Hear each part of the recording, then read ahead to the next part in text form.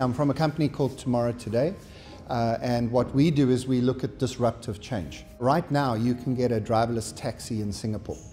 In Pittsburgh at the moment, all the Uber cars are driverless, but they're still required to have a human sitting in the driver's seat. Uh, Dubai are actually going to start using driverless drones that will take you from the airport down to the Mall of the Emirates. So, you know, forget driverless cars, even driverless drones I think might be here faster. But here's what's going to happen. Once driverless cars become legal, they're going to become compulsory. I, I, think that that jump from legal to compulsory will happen quite quickly because we know the benefits of driverless cars. If every car in the system is driverless, that's where the network effect comes. MIT models indicate that we could reduce traffic congestion by about 70%. Then we can reduce uh, traffic accidents by about 90%.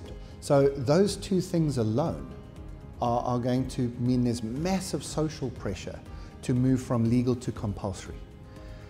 And then, after that, fairly soon, we'll discover that we don't want to own those cars ourselves. Because if your car can drive you to the office and then doesn't park for the day, you know, your, your car spends about 90% of its life doing nothing, your most wasted asset.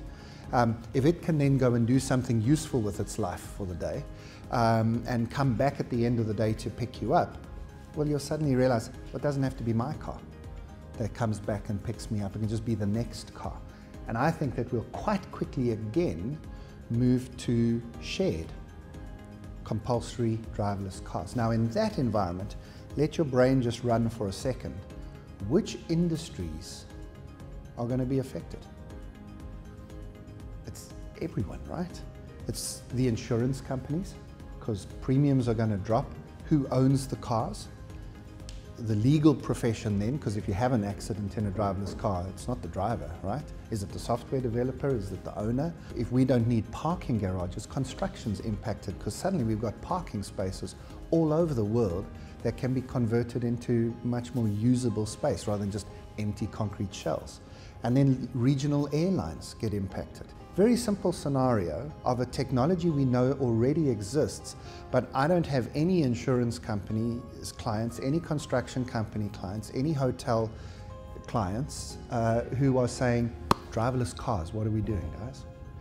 And we're, although we know this stuff is coming, and I, realize it's not next year's conversation, it's not even 2020's conversation, but can you say for sure it isn't 2021's conversation? for your industry. You can't. And I think that everything that's happened so far has just brought us to the starting line.